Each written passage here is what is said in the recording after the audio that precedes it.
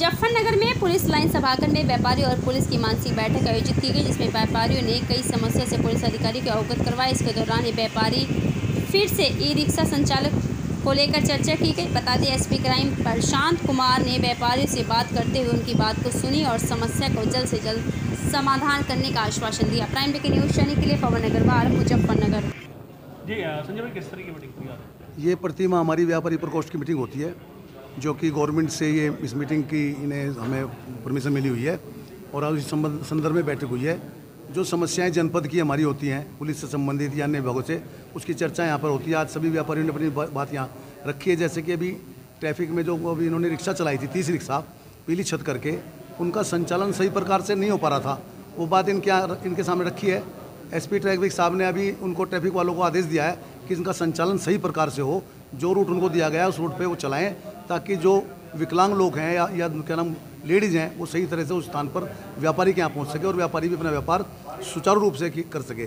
अभी एक फायर की बात आई है यहाँ, फायर ब्रिगेड गाड़ी की पहले भी कई मीटिंग में बात हुई कि एक पॉइंट मंडी के अंदर भी होना चाहिए। तो इन्होंने भी आदेशित किया कि नवीन मंडी स्थल में एक गाड़ी, चौकी पर हम लोग उसको खड़ी करवाएँगे, ताकि इतना बड़ा क्षेत्र होने के बावजूद अगर कहीं आग की सूचना इनको मिलती है तो गाड़ी जब शहर से निकल के जाती है तो भीड़ के इलाके में तब तक सब कुछ सुहा हो जाता है। इसलिए उस क्षेत्र में गाड़ी खड़ी होनी ज़रूरी थी और हम बराबर सभी व्यापार मंडल उसकी मांग कर रहे थे।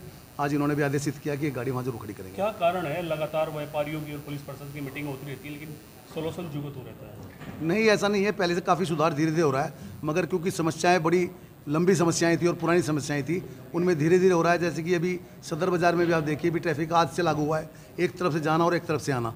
पहले एक दोनों तरफ़ से आ जा रहे थे तो भीड़ काफ़ी वहाँ इकट्ठी और जाम लगा रहता था। आज से ही ये प्लान शुरू हुआ है कि एक तरफ़ जाएँगे, एक तरफ़ से आएँगे। जब प्रशासन के साथ बैठते हैं हर महीने तो कुछ ना कुछ समस्याओं को धीरे धीरे एक माह जनपद मुजफ्फरनगर के द्वारा, यहाँ पर पुलिस के द्वारा, जो जनपद के जो व्यापार मंडल हैं, उनके साथ बैठक की जाती है। और इस बैठक में व्यापारियों की जो विभिन्न, उनकी जो भी उनकी समस्याएँ हैं, उन समस्याओं का निराकरण किया जाता है।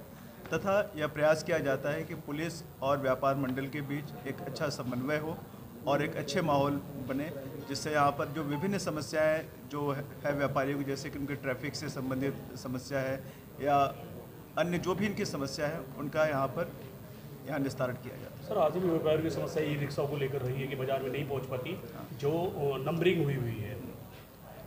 हाँ ये आज यहाँ पर इस मीटिंग में यह बात आई है।